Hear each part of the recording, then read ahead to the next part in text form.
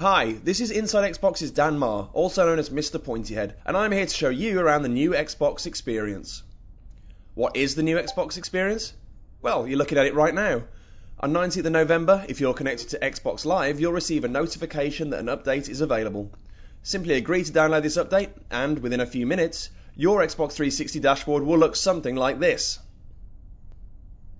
The NXE, what I like to call the new Xbox experience when I want to save my breath, is designed to be more accessible, more flexible, and let's face it, more beautiful than the previous dashboard.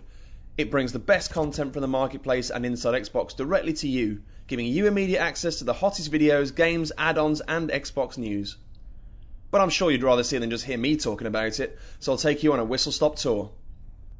Okay, here we are at the homepage, more specifically, the My Xbox channel.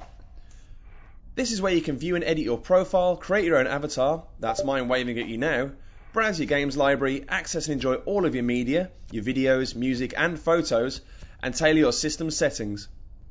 You can even install disk based games to your hard disk drive to improve loading times and reduce disk access noise significantly. In short, this channel is very, very useful. Next up is your friends list, where you can see which of your live friends' avatars are available to play or even join your party. You can now tell at a glance who's online and who isn't just by their avatar's behaviour. If they're snoozing, then you're out of luck. But if they're smiling and waving, like this guy here, you can invite away. If you're short on time, Spotlight shows off the best of the games and video marketplaces, inside Xbox, and new games releases and events, all in one handy channel. Finally, we have the games marketplace and video marketplace channels. This is where you'll find direct links to the latest and greatest content in the marketplace, such as live arcade games, game add ons, Xbox originals, music videos, and movies. If you don't see what you want, you can head into the marketplace itself and find exactly what you're after. And that brings us to the end of our little tour. I've just scratched the surface here, but you'll be able to explore the NXE's many depths when it hits your Xbox 360 on 19th of November.